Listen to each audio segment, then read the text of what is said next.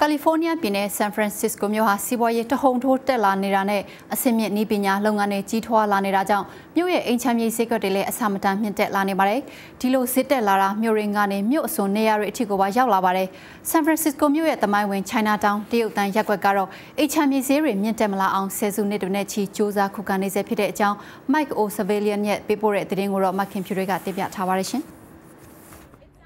ဒီနေရာမှာအငှားအိမ်တွေကနေမဖြစ်မနေဖယ်ရှားခံရတဲ့သူတွေရှိနေတာနဲ့အမျှဒီလိုဖြစ်ရပ်တွေကိုအင်ချမ်းမြေအရေးတက်ကြွလှုပ်ရှားသူတွေကမှတ်တမ်းတင်နေကြပါတယ်။စီးပွားရေးလုပ်ငန်းတွေရှိရာအိုကလန်ကနေဆန်ဖရန်စစ္စကိုဘေးတောင်ဘက်ဆီလီကွန်ဗယ်လီအရက်အထိအိမ်ဈေးတွေတက်နေတာပါ။နီးပညာကုမ္ပဏီကြီးတွေကြောင့်အခုလိုဈေးတွေတက်နေတာပါ။ And because landlords know that people can pay $3,000, $4,000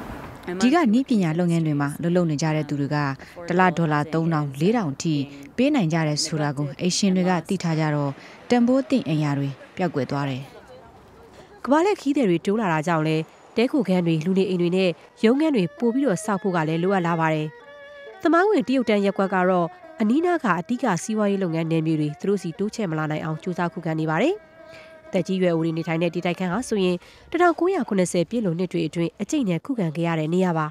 အဲ့ဒီနောက်ပိုင်းမှာတော့ဒီရက်ကွက်ကိုဆက်လက်ထိန်းသိမ်းထားနိုင်မဲ့အစီအစဉ်တရက်အကောင့်ထဲပေါ်ဖို့မြို့တော်တာဝန်ရှိသူတွေနဲ့အတူတက်ကြွလှုပ်ရှားသူတွေကြိုးစားခဲ့ပါတယ်။ because that 1986 plan တရုတ်တန်းကောက်ွယ်ရေး1986ခုနှစ်စီမံကိန်းကြောင့်ဒီရက်ကွက်အခုချိန်ထိဆက်ရှိနေတာပါ။ရက်ကွက်တကအိမ်ဈေးတွေတက်မသွားအောင်ဒီနေရာကိုအသုံးချတာတွေလုပ်လို့မရအောင်ကန့်သတ်ထားနိုင်ခဲ့တာပါ။ အဲဒီလိုလုပ်ခဲ့တာကြောင့်လည်းနယ်မြေချက်ထွင်လာကြသူတွေဒီနေရာကအဆောက်အဦတွေကိုဝယ်ယူပြီးတော့နေရာယူလို့မရအောင်ဟန်တားနိုင်ခဲ့ပါတယ်။အောက်ကလန်မြို့မှာတော့တိတ်မကြခင်ကပဲအင်လာခတွေကိုသုံးလတာဈေးမမြင့်ပဲဆိုင်းငံ့ထားဖို့အမိန့်ထုတ်ခဲ့ပါတယ်။ဆန်ဖရန်စစ္စကိုမြို့မှာလည်းအင်တွေကနေဖယ်ရှားပေးရတော့မယ့်အခြေအနေစိုက်နေကြတဲ့သူတွေကိုကူညီဖို့အလားတူဆိုင်းငံ့တာမျိုးလုပ်ဖို့တက်ကြွလှုပ်ရှားသူတွေကလူလားနေကြပါတယ်။ uh, you know don't make this much money or living in ငွေချေးမတတ်နိုင်ကြတဲ့သူတွေဒါမှမဟုတ် AOA ဟောင်းတွေမှာနေနေကြတဲ့သူတွေဟာ